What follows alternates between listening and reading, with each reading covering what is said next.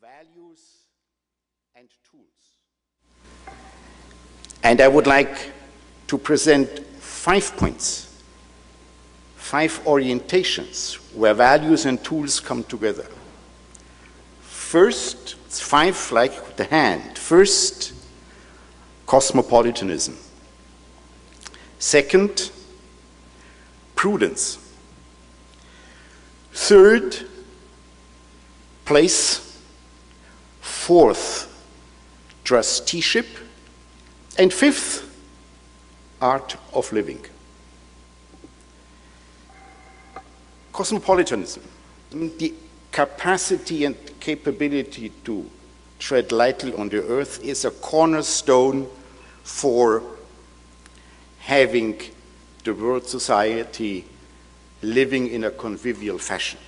How to share equitably the finite environmental space first has to be answered in terms of every citizen in the world has got the right and the entitlement to the basic natural living conditions. And that is the limiting condition for our own action.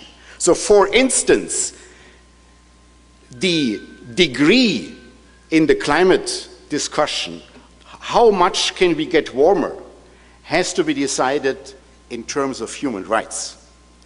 It can only go so warm, if you want. We can allow the temperature to increase only as much as not human rights are massively affected. Because we have a style of wealth which is incapable of justice. Therefore, to reinvent that style of wealth is a precondition for equity.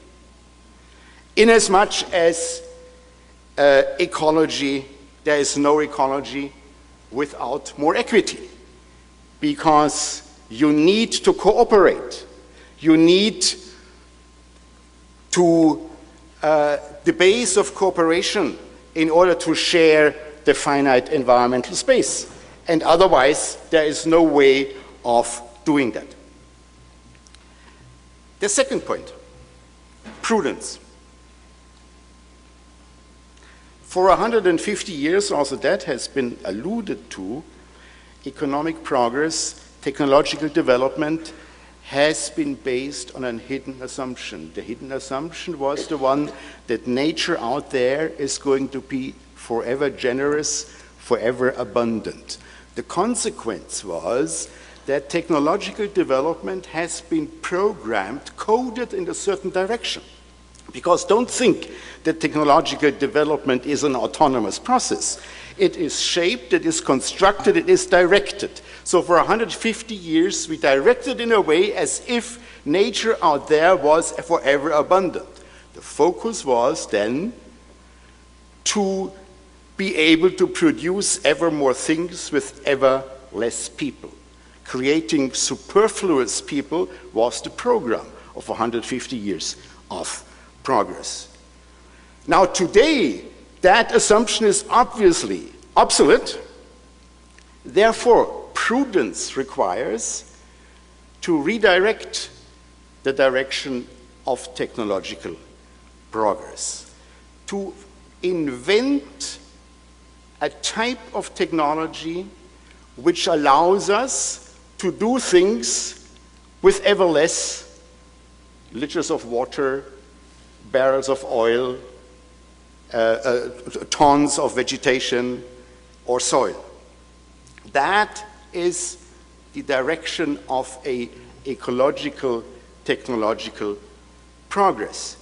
It, of course, requires a new generation of objects, of machines, of infrastructures. If I may put only two kind of uh, uh, uh points here, using Paul Hawken's notion, we have got to learn now to do things right. That you might call the notion of efficiency. And we have got to learn to do the right things. Now, to do things right, yes, it has been said the famous light bulb, of course, has a symbolic function.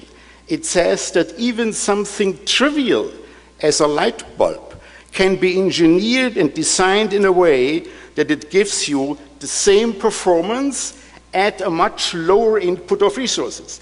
I mean, the light bulb is only a symbol for power plants, for houses, for lecture halls, and so on.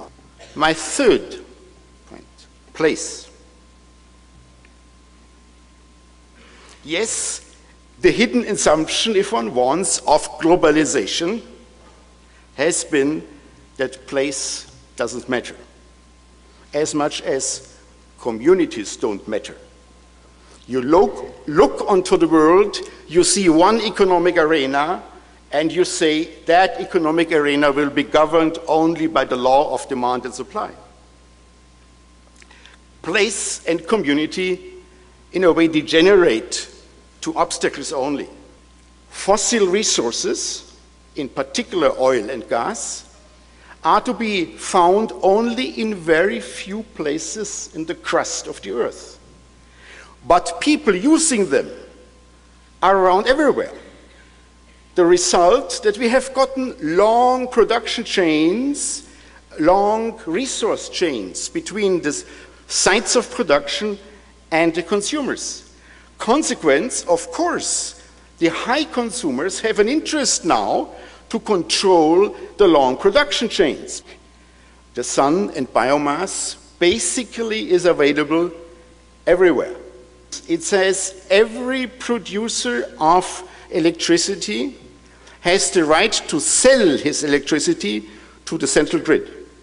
And second, it says it has got, the central grid has got to pay a price which makes it worthwhile. That law has been responsible for the explosion in wind power in Germany, now in biomass, and in future probably in solar technology. It has, and I think that is important speaking about place, it has as a vision behind the Gandhian one, in a sense, without knowing it, uh, not, the, not mass production, but production by the masses. Trusteeship. Again, sure enough, it has been the widespread insight here nature is not a participant in the marketplace. Sure, we pay for oil, we pay for timber, we pay for water, for fish, but we in effect pay only for the work which is needed to extract, to transport. We never pay for the loss to the web of life, which is incurred by using these resources. We have to re-establish the priority of politics over the market because we have to guard and to exercise trusteeship over the commonwealth and not only over private wealth. Yes, probably. The big task ahead is how to re-embed capitalism.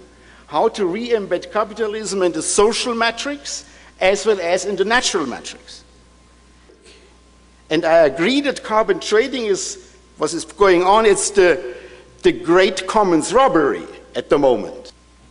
The art of living. Powering down is for me the key word for that meeting.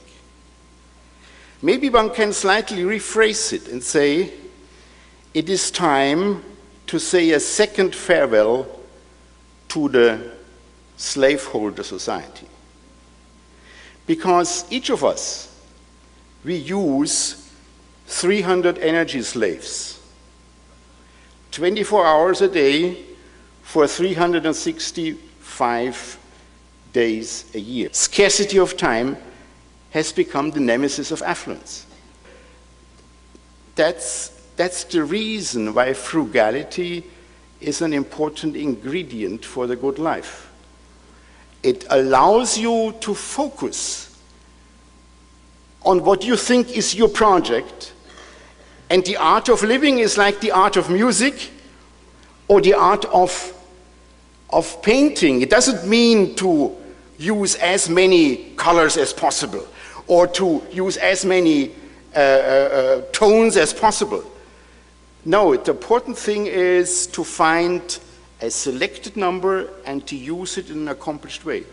The same thing for the art of living when it comes to material goods.